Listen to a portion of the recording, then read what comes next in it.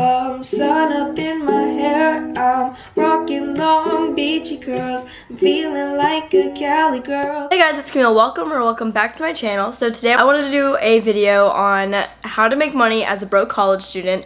And this at least doesn't apply to college students at the moment because normally this video, this type of video would apply to broke college students who are too busy doing schoolwork, like juggling schoolwork and extracurriculars to handle a job at the same time. With our current situation in the world right now, I thought this would also be a really helpful video for people who are out of jobs and need to make a little extra cash to help support paying bills and financial responsibilities and all that kind of stuff and you know I feel like this was just a really good time to put out this video although I'm not in college at the moment. I am also out of a job.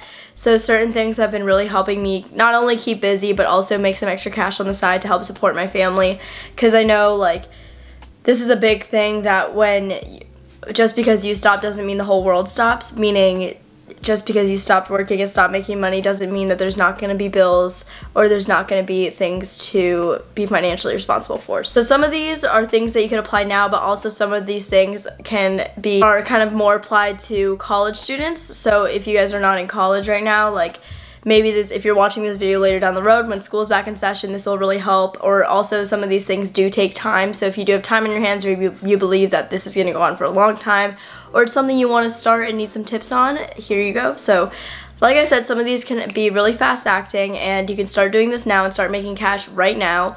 Or it's something you can start working toward to make cash later or it's mainly toward being at like it's something that is for college students strictly that some of them you would need to kind of be at school for. So let's get on with the video. So the first thing is selling your clothes. So I know I have a few friends who like to sell their clothes that they don't wear on Instagram, so they'll make like a whole other Instagram page and post pictures of clothes they want to sell, some with tags, some without tags, but have never been worn and stuff like that. I know I probably have a bunch of pieces in my closet that a lot of other people would want, but that are like brand new. So like I have this Princess Polly dress that I still has a tag on it and I can't return. So I'm probably to sell that. Just find random pieces in your closet that you could sell. So you could make your own Instagram account from it if you have a lot of clothes that you want to sell or if you're just finding a couple pieces. Sites like I mean, apps like Poshmark and stuff like that you could sell your clothes on. I know a lot of people like to buy their clothes off of Poshmark, so that'd be a good option. Honestly, purging your closet, seeing a good question to ask yourself like have I worn this within a year? If it's yes then keep it. If it's no then get rid of it. Or unless you're saving that for a special occasion obviously then that's a little different. Another thing you could do is going to a consignment shop. So thredup and plato's closet are great ones. Thredup is an online consignment shop. Both places you could give them like a bunch of your clothes and then they'll sift through it see what's trendy see what's on brand and they'll give you back whatever they don't want and then they'll give you a portion of the money of what they would sell it for. So like I think this is how it works. Like if they they sell a top for $12, you'll get like a dollar or two for it. Like it's not a lot of money, but if you do have a lot of clothes, then that money will add up over time. I'll leave all the links for all this stuff down below. They really sift through the clothes and make sure things are on brand or on trend. So, I mean, I think you just get like a portion of the money back. Like, it's not a lot, but like I said, if they're really rare pieces, then money will add up. And I think that's a really good option. The second thing is start your own business. So if you have a hobby and you really like doing it and all that stuff, make it into something that you could sell. So I know a lot of TikTok painters are starting to sell their paintings. So if you love painting, start selling your paintings, advertising it on your Instagram, making an Instagram page for it, going on TikTok, selling it from there or just like any platform that you could start building your business off of. I think Instagram is a great start. So I'm not the best at painting. I'm not gonna sell these, I'm gonna give them to my little, but like this stuff, so this is Alpha Phi, so I did like cheetah print, stuff like that. I have a lot of ideas for future paintings, but I did this one for my big, because she loves butterflies, so I painted that. I don't like that one. And then I also worked on this for a while. I mean, it's nothing, like, it's not the best painting in the world, but you could definitely sell these for to people who want to give stuff to, to their little. I really like this piece because it has, like, the little glitch effect in the Alpha Phi, and I don't know, I love stars.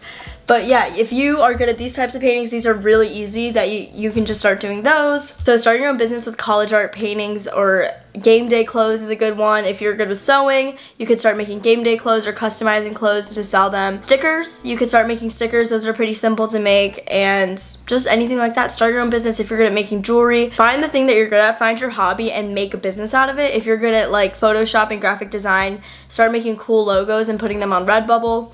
Redbubble's an awesome site if you, you know, like those VSCO Girl stickers. Good with graphic design, making logos, Photoshop, all that stuff. You can make your own like kind of design that a lot of VSCO girls would like because that's where they go for their stickers. Uh, you can start selling it on there. Besides stickers, with that graphic or logo, you can put it on a bunch of different products like t-shirts, pillowcases, um, prints that people could buy. So you could do so much. Even with your own photographs, you could turn them into something on Redbubble. That Redbubble is just such a great platform where you could sell merchandise sort of. I could not even tell you. There's just so many things you could start from your own home and build a business off of. The next thing is to reach out to brands and build a relationship. So if you have like a decent following on instagram I'm not saying to become like an instagram influencer or baddie like honestly you could just like reach out to brands and then just like start talking to them start building a relationship. Maybe you could review their product on your instagram if you start building a platform or anything like that. So if you have some sort of platform on twitter or whatever you could reach out to brands and see if they're interested in working with you or anything like that or just start a relationship. So once you build a following build a platform you could just keep that relationship. And i think building those relationships is really good because I know there's a lot of those Instagram sites that like promote hair care stuff and they offer jobs. So find that side hustle with one of those Instagram brands and a lot of people make a lot of good money off of that so that's something you guys could look into. So none of this video is sponsored at all but there's this site called StudySoup. I tried it out for a little bit but it wasn't for me because it was just I had a lot of responsibilities with YouTube and school going on. It wasn't for me but and I didn't work ahead of time for it but it's basically each week you'll upload your notes so whether you write paper notes, you could just take a PDF scan and upload it, or if you take online notes, you would just upload those. So you post your notes and people will pay to unlock your notes for that class. So I think that's really cool and a really good way to make money. I made like $4 off of it because I did it once. I literally uploaded like one notes I made like $4, which is not a lot, but like I said, if you're consistent with it, it will add up. It's free, an elite note taker for StudySoup. So basically, each week you'll upload your notes and then three days before test, you have to upload your study guide. And people can get, get a free unlock, so they'll unlock it just to like see that set of notes or that one study guide. But then when people subscribe to you, then you'll get $35 from the company. Basically, you're uploading what you're doing already. Like if you're really consistent with your notes and stuff like that, like I was just not good about it. I just kind of forgot about it. And I was like, I am fine. I just wasn't responsible enough. But I think I might do next semester because it's a really good way to make money because you're basically just uploading what you're already doing and making money off it. You're, so freelance writing photography jobs, so obviously you can't really go out and do photography jobs, but if someone wants, if someone's looking for a writer, I think Fiverr is the website. Yeah, Fiverr is a website where you can just look up a bunch of freelance jobs. So people look for writing photography. Like I said, this is kind of playing onto your hobbies, your interests and stuff like that. So if you're a good photographer and someone's starting a business and they need a photographer to photograph their products that's something you could do. If like there's like video editing jobs if you're good at video editing you could edit someone's youtube videos or something like that. For writing it could be like oh i need a description on my website and i don't know how to write it or anything like that. So if you're good at writing and you're good at photography or videography or editing literally anything people are looking for people to do those jobs for them and then they could hire you as like a one-time thing. So that, i think that's really another great way to take opportunity on your hobbies and your interests and what you're good at. So the next thing is starting a YouTube channel. So I want to make a whole other video of how I got to, from like nothing to like getting, starting to gain momentum on YouTube. Starting a YouTube channel is like a long freaking process. You have to meet requirements. You have to you have to reach requirements to go through monetization, you have to be under review, then you have to go through all like the it's a whole process that takes a really long time, but if it's something you're passionate about, go ahead and do it because you do make money off of it and although you might not get a lot of money at the beginning, you'll start gaining momentum and stuff like that and you'll start making money off of it. I personally don't do it for the money. I've been doing this since I was 12, just all those videos are in private. But I have been doing this for a while and it's obviously something I really love and wasn't confident enough to do until college. I'm just so passionate about it and I'm so happy that I've gotten confident enough to do it because I regret not doing it in high school. But starting a YouTube channel takes a lot of time, but if you're passionate about it, it is another way that you could get some extra cash. Going off of kind of the study soup vibe, uh, selling your study guides. So if there's people in your class or if you have a group chat and you made like, if you spent hours on a study guide, like I know selling your study guide instead of just giving it out but if it's like strangers, not your friend, just be like, hey, like I worked six hours on the study guide, like I'm selling it for like 10, like 50 cents. Like that's not a lot. People are willing to pay it though for a good study guide so they could do well in that class. And then 50 cents will add up. Like let's say 10 people want it, it's $5. I mean, if you do that for every test in every class, every semester, that money will add up, or it could even just be a dollar. I'm sure people are willing to pay a dollar for your study guides if they're that good. Selling your furniture, I hate that ugly brown dresser and I want to sell it so bad. So if there's things in your room that you want to sell like furniture wise. I think selling furniture is a great idea. And there's like lamps that downstairs in the basement that we don't use anymore or storage units that we don't use anymore that we could easily sell and make a, a bunch of money. So Facebook Marketplace is a good way to sell some of your items around the house, not just furniture, but other things around the house that you don't particularly use anymore. The next thing is sell coolers and beer pong tables. So I don't know if you know, but I made this cooler for my boyfriend and it was the best project ever. I loved it. Whenever I needed a study break, I always worked on it and it was just a fun creative project. So if you're in college, cooler, frat coolers and beer pong tables are a big thing. I'll insert some pictures here, but it is a fun creative way to keep you busy during quarantine and it's, and it's also a hot product that a lot of frat boys want. You put a lot of work into them and the items themselves can be very expensive so you can make a lot of money on those. My friend used to make frat coolers and she made a lot of money off of it. I know a lot of people are making the beer pong tables and stuff.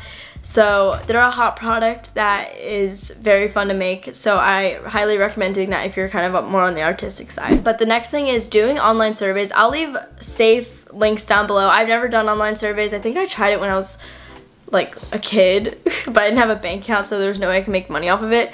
But doing online surveys is another way to make little cash, but adding it up over time. Just literally taking surveys, just clicking random answers, or answering them honestly. Some, some websites do pay you to answer surveys on their sites, so that's something you guys could look into, because that's kind of interesting, because you're literally just answering questions and making money off of it. I don't have the websites on the top of my head, but I'll leave them down in the description if you're interested because I mean literally you're just giving your input and getting paid for it. Like that just seems so simple. Another way is Rakuten. So Rakuten is a site. I use it all the time when I'm shopping. They'll give you cash back on certain things. So when you're online shopping just look up the site that you're shopping on on Rakuten.